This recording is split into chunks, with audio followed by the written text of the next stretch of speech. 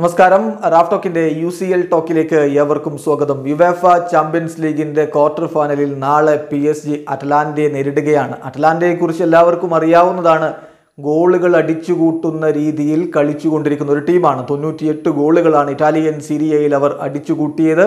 അവരുടെ playing style തന്നെ ഒരു പക്കാ അറ്റാക്കിംഗ് ഫുട്ബോളാണ് അവർ കളിച്ചുകൊണ്ടിരിക്കുന്നത്. അതിനെക്കുറിച്ച് കൃത്യമായി പഠിച്ചുകൊണ്ട് തന്നെയാണ് പി എസ് ജി കളിക്കളത്തിലേക്ക് പോകുന്നത് എന്നാണ് ഇപ്പോൾ അവരുടെ പരിശീലകൻ തോമസ് ടുഷേൽ പറയുന്നത്. വളരെ കൃത്യമായി അറ്റ്ലാന്റയുടെ എല്ലാ നീക്കങ്ങളെക്കുറിച്ചും അദ്ദേഹത്തിന് വ്യക്തമായ ബോധ്യമുണ്ട്.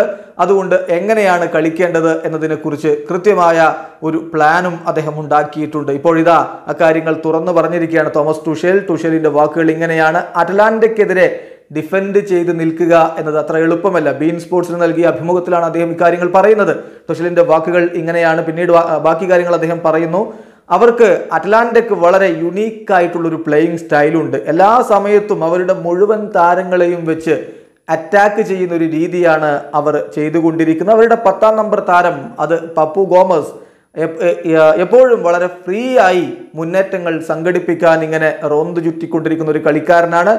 മറ്റ് താരങ്ങളെല്ലാം അദ്ദേഹം കമ്പൈൻ ചെയ്യുന്നു. സ്മോൾ സ്പേസുകൾ നല്ല രൂപത്തിൽ യൂട്ടിലൈസ് ചെയ്യാനും പപ്പു ഗോമസിന് കെൽപ്പുണ്ട്. അതുകൊണ്ട് തന്നെ അവർ എപ്പോഴും രണ്ട് വിങ്ങുകളിലൂടെയും ആക്രമിച്ച് കയറുക വളരെ സ്പീഡി ആയിട്ടുള്ള അറ്റാക്കിനാണ് അവർ എപ്പോഴും ശ്രമിക്കുക. എന്നിട്ട് ക്രോസുകൾ ഫോർവേഡ്മാർക്ക് എത്തിച്ചു കൊടുക്കുക. ഇതാണ് അവരുടെ സാധാരണ ഒരു കളിരീതി മാത്രമല്ല ഷോർട്ട് ഫ്രം ഡിസ്റ്റൻസും അവർ ലോങ് റേഞ്ചർ ഷോട്ടുകളും ഉപയോഗിക്കാറുണ്ട്. അതിന്റെയൊക്കെ അർത്ഥം വളരെ കൃത്യമായി ഞങ്ങൾ ഡിഫൻസിൽ ഫോക്കസ് ചെയ്ത് നിൽക്കേണ്ടതുണ്ട്. അറ്റ്ലാന്റയ്ക്കെതിരെ ഗോൾ കൺസീഡ് ചെയ്യാതിരിക്കുക എന്നതാണ് ഏറ്റവും പ്രധാനപ്പെട്ട കാര്യം. പക്ഷേ അതത്ര എളുപ്പമുള്ള കാര്യവുമല്ല. അതുകൊണ്ട് തന്നെ ഈ മത്സരത്തിൽ ഏറ്റവും പ്രധാനപ്പെട്ട താരമായി ഞാൻ കാണുന്നത് ഞങ്ങളുടെ ഗോൾ കീപ്പർ കെയ്ലർ നവാസിനെയാണ്.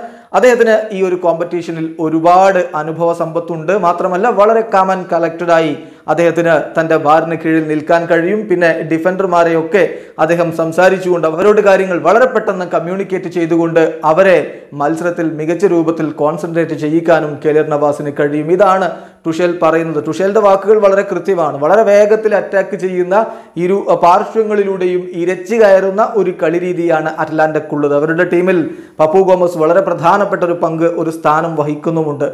അവരെ തടഞ്ഞു നിർത്തുക ഗോൾ വഴങ്ങാതിരിക്കുക എന്നത് തന്നെയാണ് പ്രധാനം. പക്ഷെ അതത്ര എളുപ്പവുമല്ല. എന്നാൽ തന്റെ ടീം ഡിഫൻസിൽ കൂടുതൽ ഫോക്കസ് ചെയ്യും എന്ന് തന്നെ ടുഷേൽ പറയുമ്പോൾ നമുക്ക് പ്രതീക്ഷിക്കാം കടുത്തൊരു മത്സരം.